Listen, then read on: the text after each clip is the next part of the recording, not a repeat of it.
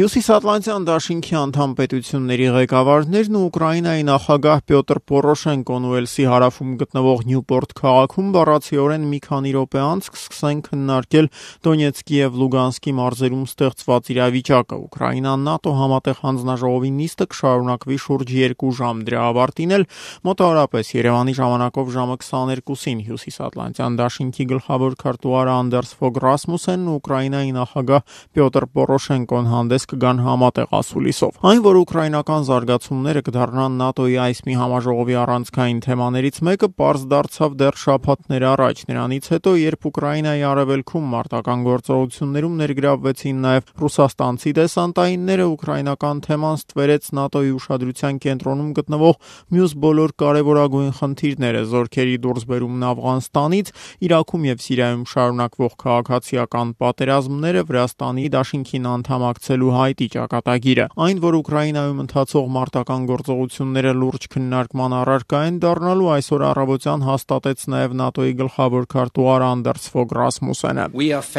Արևելքում Ուկրաինայում անվտանգության միջավայրի դրամատիկ փոփոխությունների ականատեսն ենք դարձել։ Ռուսաստանը հարձակվում է Ուկրաինայի վրա։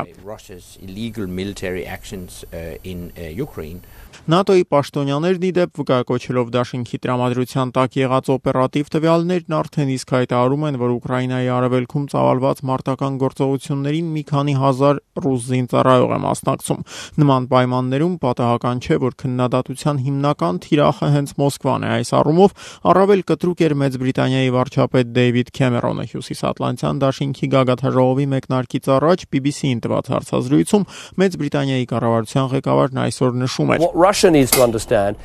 Ռուսաստանը պետք է հստակորեն հասկանա, եթե նման թե Ուկրաինայում պահպանվի, ապա ճնշումներն ուժեղանալու են։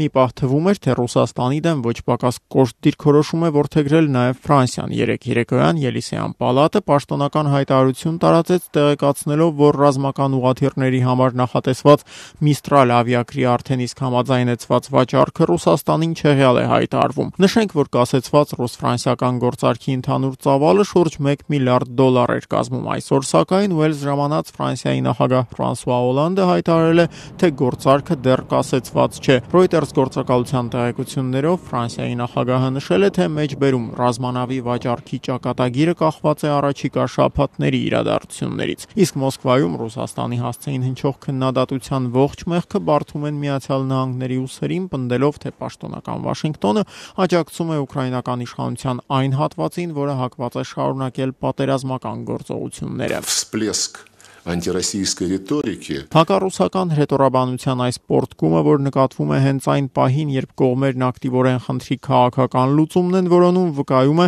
որ Կիևում գործող պատերազմի կուսակցությունն ակտիվ արտաքին աջակցություն է վայելում տվյալ դեպքում Միացյալ Նահանգների կողմից։ Այսօր Մոսկվայում հայտարարեց Ռուսաստանի արտաքին գործերի նախարար Սերգեյ Լավրովը։ Партии войны, которые находятся в Киеве,